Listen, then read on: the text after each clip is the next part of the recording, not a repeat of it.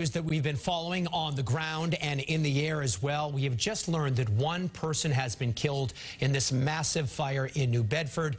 It appears that this was a boarding house. Now, we're still working to find out if other people were in fact hurt. Tammy Mutasa just arrived at the scene and she joins us now with the latest. Tammy?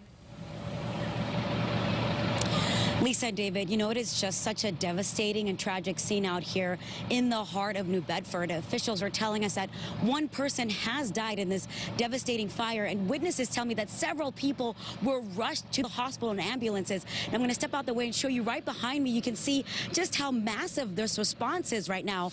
This yellow tape stretching for blocks as firefighters still trying to battle that fire that is raging in this massive four-story building. Now, witnesses say smoke and bright orange flames started shooting out of the building around 3.30 here on Acushnet Avenue. Witnesses gave us this dramatic cell phone video showing a man and a dog being rescued with a ladder from the top floor while that fire was still raging. We're told again that several ambulances rushed from the scene with several victims and the mayor's office again confirming that one person has tragically died. Now the Department of Fire Services has deployed a rehab unit to help firefighters here at the scene, and a hazmat team is also here to keep a close eye on the air quality for the community and first responders who are working really hard right now. Take a listen to what witnesses say they saw.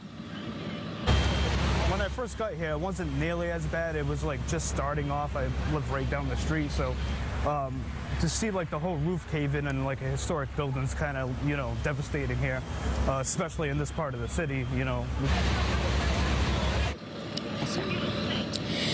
And back out here live, again, you're looking at this massive response to this four-story fire. Right now, police are saying traffic is being restricted around this area at Acushnet Avenue and Tolman Street as firefighters deal with this fire. They're asking people to please avoid this area.